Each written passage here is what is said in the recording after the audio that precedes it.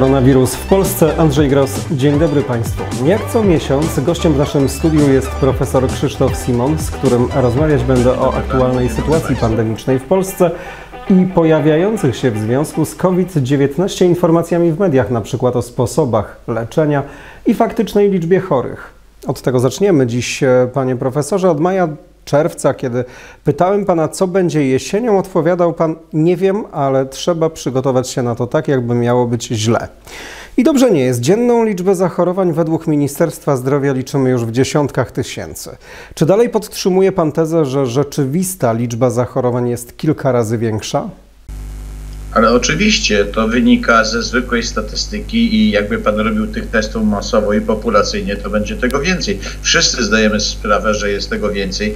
To jest 16, 18. Ja cały czas powtarzam, nie tylko ja, że tych przypadków bezobjawowych szerzących się, wielu jest wszechobecne w tej chwili. Cztery miesiące straciliśmy, jak pan mówi. Ja mówiłem, że nie wiem, co będzie, ale proszę się przygotować. Proszę dodać drugie słowo do tego, co mówiłem. Nic w tej sprawie nie zrobiono. Mieliśmy wybory, dyskusje, kłócenie się, e, pewną regresję tego, cośmy skonstruowali do maja jako takiego to oddziały rezerwowe. Nie przygotowano dodatkowych szpitali, instalacji, zespołów ludzkich, nic. I nagle nowy minister, czego chylę czoła wszystko usiłuje zrobić i nadrobić tę sytuację, nawet włączył się do tego premier. No ale to się zbiegło z oczywiście typowym dla tego okresu gwałtownym zaostrzeniem tej epidemii, no i teraz kolejnych, które się tych zakażeń wirusowych, które będą. Wirus jest wszechobecny, rejestrujemy mniej więcej 1 piątą, 1 czwartą przypadków. Niektórzy mówią, że grubo więcej. Ja, to jest oczywiście spekulacja, ale to, to, to na pewno jest kilkadziesiąt tysięcy dziennie przypadków nowych zakażeń. Gdy rozmawialiśmy ponad miesiąc temu, liczba zachorowań nie przekraczała tysiąca. Już wtedy mówiliśmy o problemie transmisji wirusa w uwolnionej od obostrzeń komunikacji miejskiej, o weselach, imprezach masowych i kościołach. Do tego doszły szkoły. Dziś mamy blisko 25 razy więcej zakażeń dziennie, czyli około 25 tysięcy. Generalnie przyczyną tego wszystkiego było niezupełnie szkoły, bo to nie ma na to dowodów żadnych, choć na pewno też. Podstawową sprawą ludzie wrócili z wakacji, gdzie nikt niczego nie przestrzegał, przynajmniej 3 czwarte społeczeństwa i turystów do nas przyjechali, bo miałem przyjemność to widzieć w bardzo drogim, pięknym koło brzegu. Wrócili do domu, do zamkniętych pomieszczeń, do pomieszczeń biurowych, do rodzinnych, do własnych kontaktów. No i większość, która była zagrożona bezobjawowo, była lepszy, bliższy kontakt przenosiła. Szkoły też takim miejscem, ale proszę pamiętać, jest różnica między osobą kaszlącą, gorączką, gorączkującą, plującą i się duszącą, a jest różnica z bezobjawowym uczniem, no, który nie kaszle, nie pluje, no pluje czasem jak się bije z kolegami, prawda? I słabiej to przenosi. U dzieci to przebiega bezobjawowo, więc dla nich zasadniczo to nie stanowi zagrożenia poza indywidualnymi sytuacjami, prawda? Dla młodych ludzi też nie. Także szkoły nie były tym niebezpieczeństwem. Natomiast cały czas mówiłem, że trzeba przygotować nauczycieli na możliwość zakażenia się.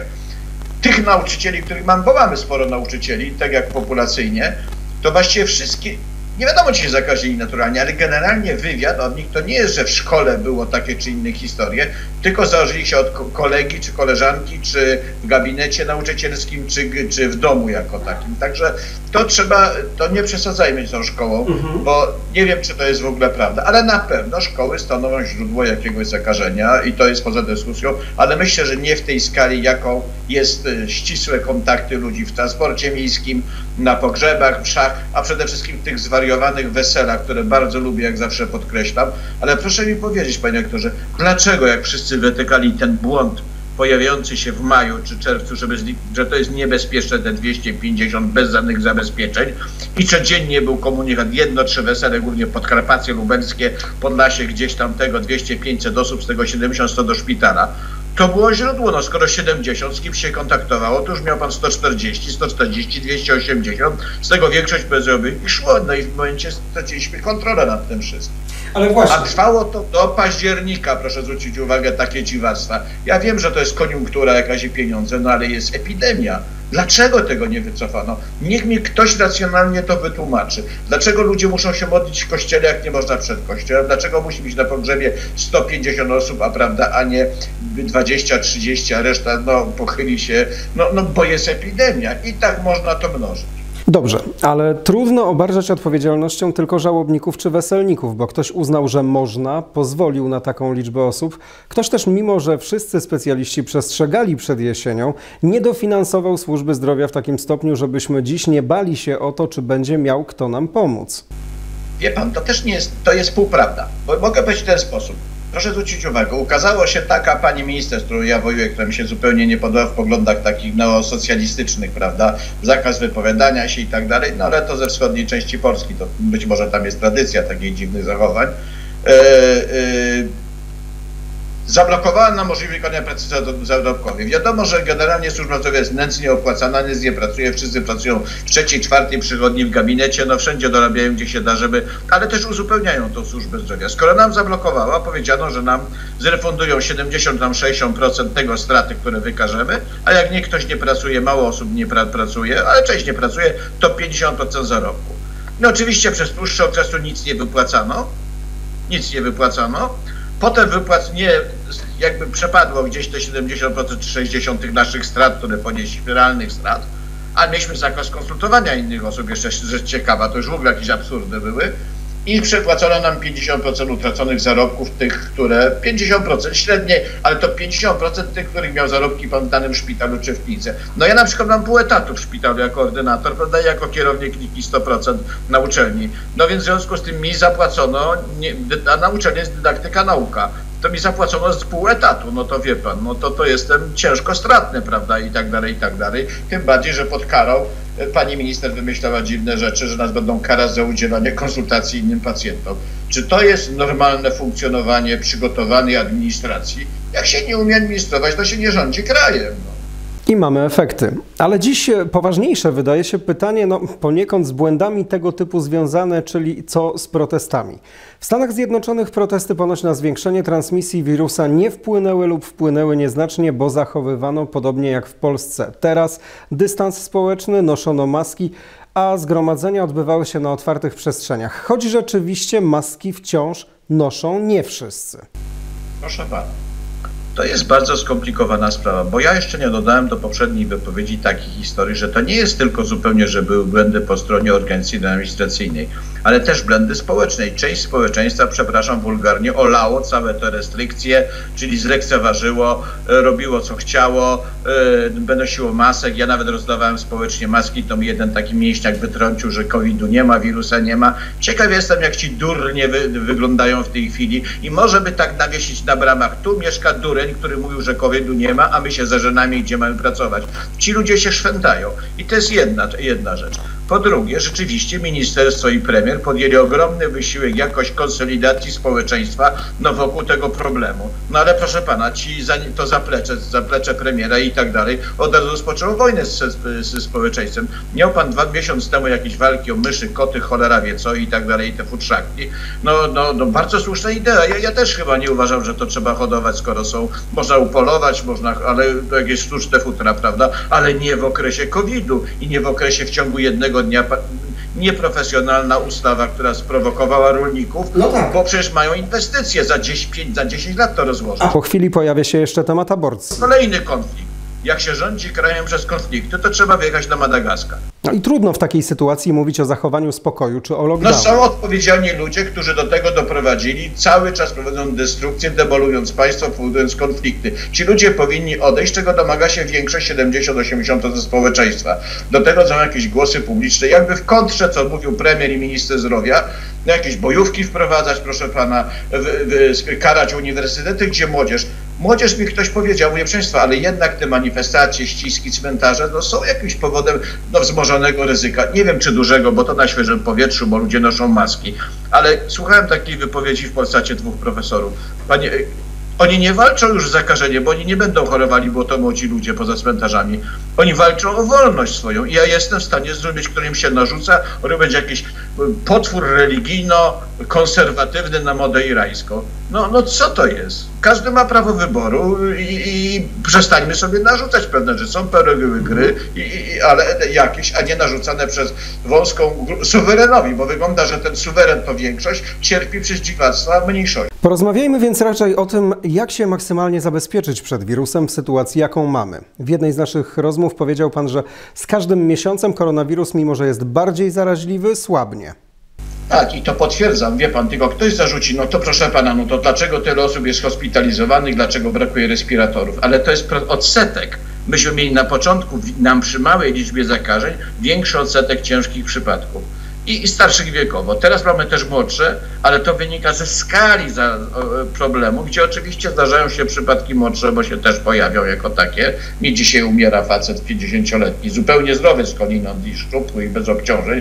No taka predyspozycja umrzeć, bo niestety to źle wygląda wszystko. I, i, I trzeba się z tym liczyć. I ta liczba pacjentów jest mniejsza tych ciężkich, ale o wiele, wiele większa niż była. I to kompletnie, kompletnie unicestwia służby zdrowia. My jesteśmy niewydolni. To powiedzmy, kto powinien chronić się najmocniej? Jakie choroby współistniejące każą nam podejrzewać, że będziemy COVID przechodzić ciężej? Czy już jesteśmy w stanie o tym mówić? Nie, no wie pan, zasadniczo są znane rzeczy. Pierwsza rzecz to jest starość i choroby współtowarzyszące. Drugie wydaje się otyłość, cukrzyca, choroby nerek, w mniejszym stopniu choroby wątroby. Trzecim czynna choroba nowotworowa, bo to ja rutynowo się tym posługuję, prawda? Mhm. Czynna choroba nowotworowa i do pięciu lat po mhm. leczeniu, szczególnie onkohematologiczne przypadki.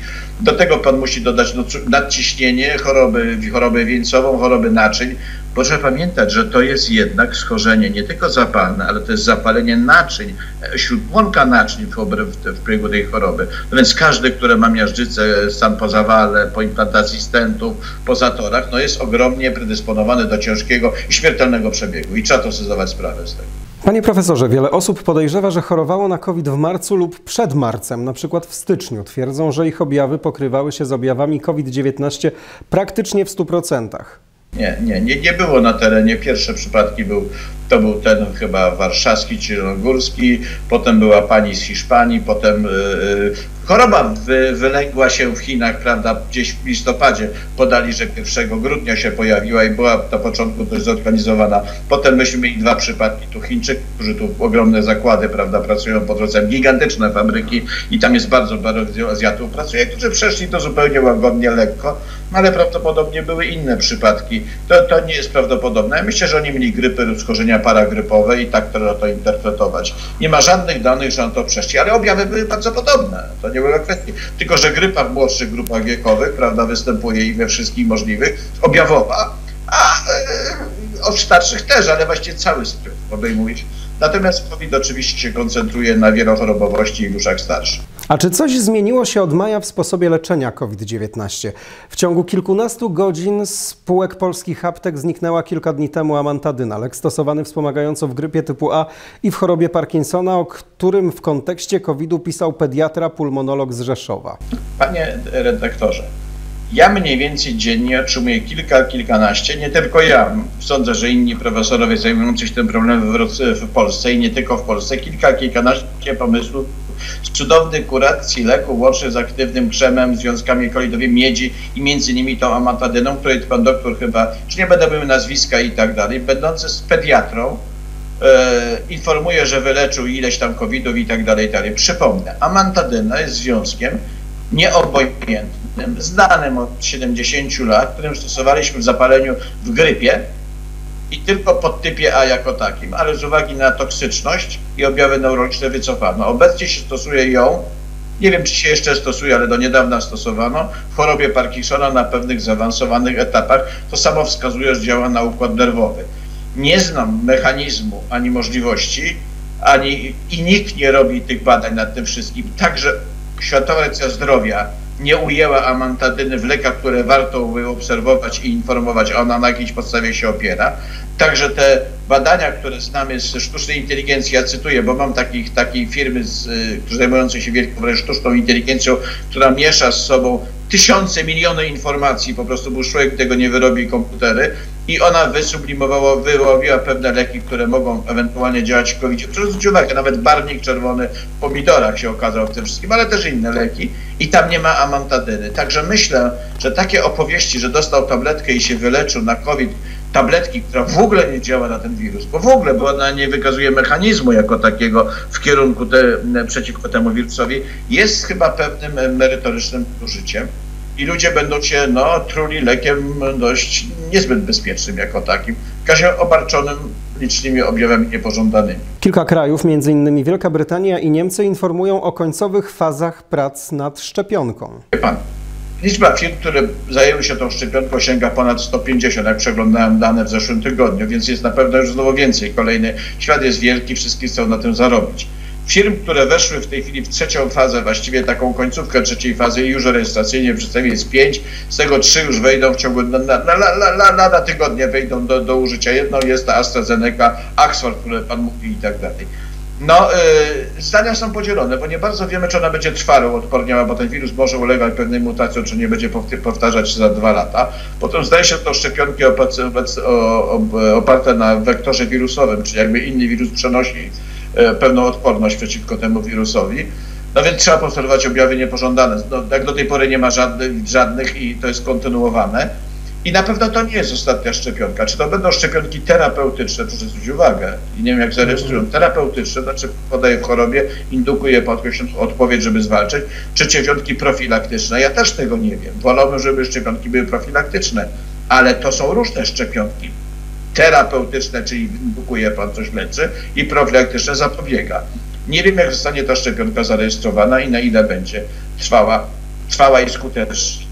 Zatem proszę pamiętać, nie ma szczepionek stuprocentowo skutecznych. To są absurdy. Profesor Andrzej Horban, doradca premiera, zarekomendował całkowity lockdown, jeśli dzienna liczba zakażonych przekroczy 30 tysięcy. Co pan profesor na to? Panie redaktorze, jeśli chodzi o piąt zakaźny epidemiczny, jestem powołany do grupy doradców premiera, ale tylko ja się zgodziłem na to, tylko w aspekcie, przecież nikt nam za to nie płaci, tracimy własny czas, prawda, rozmawiamy tego. Mhm. Jednym nam jest 5-6 nas osób z środowiska zakaźników, które nowemu ministrowi plus premierami doradzamy w tych sprawach. To jest nie zawsze przyjęte, czy nasze porady, czy nie, ale to nieważne. Premier ma prawo do własnych rzeczy. Ale mówię tej o części niepolitycznej jako takiej, bo praktycznie wszyscy mamy zupełnie odmienne poglądy polityczne, ale sprawą nadrzędną dla nas jest dobro kraju i to jest może takie górnolotne, ale tak jest. No. Y, I, i, i, zwykła przyzwoitość, żeby pomagać w tej katastrofalnej sytuacji, prawda? No jak pan widzi, otoczenie premiera zachowuje się wręcz przeciwnie, tylko generuje konflikty, co uniemożliwia nam normalną pracę. To jest coś nieprawdopodobnego w tym kraju. I to jest taka moja dygresja. Y, mówił to dokładnie mój przyjaciel Andrzej Orban, który jest konsultantem krajowym, bo mniej więcej tak wyliczono. Wie pan, w tych przypadków oczywiście już jest więcej tylko kwestia, ile my tych łóżek obłożymy jako takiej służby zdrowia, powoli będzie, powoli. Przecież to nie są łóżko, nowe szpitale są otwierane, to nie jest wartość dodana, tylko my zajmujemy kolejne oddziały kosztem czegoś, więc tu narodzi śmiertelność niewątpliwie w jakiś sposób. No z drugiej strony może też rodziny się zlitują części i, i, i ciotki, babcie i, że, i tam dzieci, że wezmą tych starych ludzi ze szpitali do siebie do domu i wreszcie nie będą miesiącami not przybywali, bo ludzie blokują się w domach, żeby tych starych ludzi, które opieki na stare lata przyjąć. No to jest właśnie humanitarny, chrześcijański kraj, a mamy takich przypadków setki, tysiące. No zwolniłoby na miejsca. No drugą rzeczą jest, że przypadki lekkie, co sugerujemy jako specjaliści, powinny być szybko przekazane do oddziałów tak specjalistycznych jak mój, czy inne w szpitalu u nas, tego drugiego rzędu, e, na, e, na oddziały niższego rzędu, gdzie muszą tam do, dozdrowić, że tak powiem, i tak dalej, i tak dalej. I nie mają tak skomplikowanej terapii, ale zwykle terapii, uzupełnienia, pomocy, no, korekcji pewnych rzeczy, gdzie już ten wirus nie, nie, nie, nie replikują, a mają konsekwencje. A my ich nie musimy trzymać, wie pan. I to jest pewien problem, bo nie ma gdzie ich rzucić jako tak. Jeśli te restrykcje, które wprowadziliśmy dwa tygodnie temu zaskoczą, prawda, i nie będzie jakiejś rewolucji w kraju, a, a cały czas jest podsadzany, no wie pan, moje dzieci pojechały na zakupy, tam były te zamieszki, to oberwały gazem od jakichś bojówek, proszę pana. Yy, no przepraszam pana bardzo, w jakim ja kraju żyję i, i a słyszę, że wice, pan wicepremier Kaczyński oświadcza, że trzeba robić jakieś ochrony kościołów, których nie, nie atakuje jakąś straż obywatelską są straszne rzeczy, proszę no to jest na granicy no, zdrady stanu, co się w tym pali, gdzie jest policja, wojsko, jestem zbulwersowany. Kościołów ani zabytków nie trzeba było chronić, więc chroniący najczęściej zajmowali się sami sobą. Sama sobą, no ale w ogóle, wie pan, no ludzie oczywiście są ekstremni, czy nie są prowokacje jakieś, czy za tym ktoś nie stoi, kto w tym kraju chce cały czas podsycać bajzer, no ale cały czas konfrontacyjne decyzje i, czy, czy, jątrzenie co miesiąc jakimiś aferami, no w okresie epidemii jest po prostu skandalem, jest niemoralne, nieetyczne, jest zwykłym świństwem robionym temu społeczeństwu przez jakichś ludzi żyjących równolegle w świecie do nas, do, równolegle do Pana, do mnie, do wszystkich przyzwoitych ludzi w tym kraju. Właśnie dlatego pytam o lockdown. Jeśli wprowadzony zostanie pełny lockdown, to czy ma on pełne uzasadnienie medyczne, czy będzie to decyzja polityczna? Wie Pan, ja nie, mam taki niepokój, że, jak będę, że te kobiety się oczywiście już tak obrażane, znieważane w tym kraju, prawda, i upadlane, no wreszcie się zabrały za to wszystko Ja sądzę, że, że, że może być to decyzja polityczna, czego bym się najbardziej obawiał, żeby spacyfikować stan wojenny, czy taki po prostu pod maską, że jest tyle nowych zakażeń i tak dalej. Proszę zwrócić uwagę, te zakażenia są tak, jeśli chodzi o kliniczne objawy, no, na 17-23 tysiące, ale proszę pamiętać, że my z służbą zdrowia jesteśmy już dobici do, do, do, do, do, do, do, do muru przyparcia, już poza tym murem, no i zaczynają być koncepcje budowy tych szpitali na stadionach, wszędzie, gdzie, gdziekolwiek. Ale panie, redaktor, panie redaktorze, jest masę starych obiektów, na przykład na Dąbku Śląsku, które przez 4 miesiące nie przygotowano na taką sytuację. W ogóle nikt tle, można było sprawdzić, to nie był żaden problem techniczny i tak dalej. Budujemy nowe obiekty. Jak ja widzę, rozmawiałem z premierem, mówił profesorze, to jest piąta linia obrony. Czy rozumiem, ostatni y, sekretarz y, Hitlera broni się w Reichstagu, a reszta wszystko już padła, bo mniej więcej tak to wygląda. Panie redaktorze, pacjent z, z, z COVID-em, z zapaleniem płuc nie jest w stanie się ruszyć dłużej niż metr, dwa przejść, bo po prostu osłabi, duci się im mleje. Musi iść z aparatem, który go natleni. Ja widziałem to wszystko, ja nie neguję, bo być może tak trzeba będzie zrobić, ale to jest szaleństwo w kontekście obiektów szpitalnych. Jak dojść do toalety w takiej odległości, jak przesunąć, jak dostarczyć tlen. Pan sobie wyobraża 500 łóżek i 500 butli, a jak to wyleci w powietrze, skąd pan 500 butli znapnięta tlen? Skąd? I to jest jeszcze do załatwienia. Publikacje można robić takie to i to i to obok siebie, tylko trzeba przewieźć. Kto ma pracować w tych, tych, tych? Proszę mi powiedzieć, jest skoro w szpitalach nie ma personelu. Nie ma personelu i o tym było wiadomo od lat, no, a od pół roku na pewno. Mam nadzieję, panie profesorze, że za miesiąc nasza kolejna rozmowa będzie bardziej optymistyczna w każdej kwestii i że zakażeń będzie już widocznie mniej, czego wszyscy sobie oczywiście życzymy. Dziękuję bardzo, panie profesorze. A na kolejny odcinek audycji Koronawirus w Polsce zapraszam za miesiąc. Do zobaczenia.